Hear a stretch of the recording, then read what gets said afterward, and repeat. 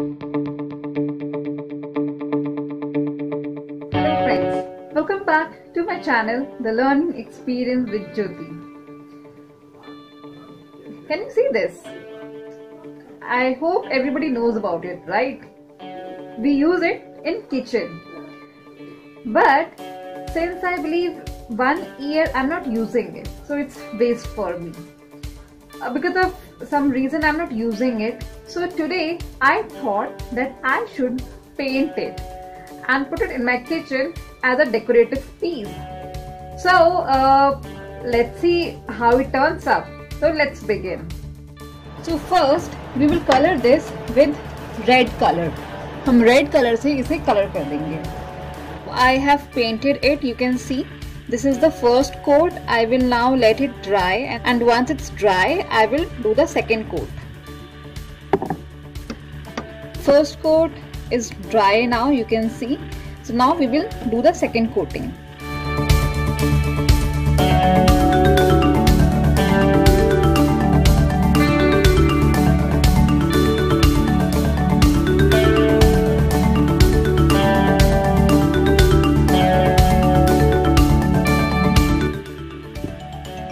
You have to move hands in this way.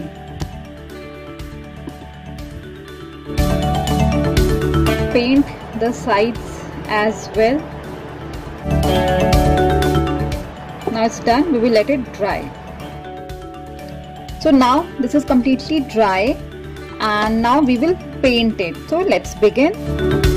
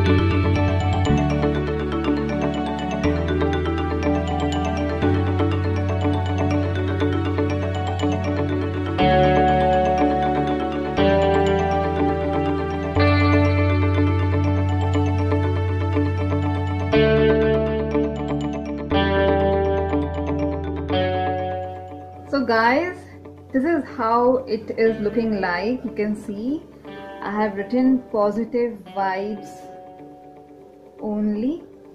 So if you are thinking of trying something like this then definitely go for it. It's looking wonderful. So definitely go for it. So here it is.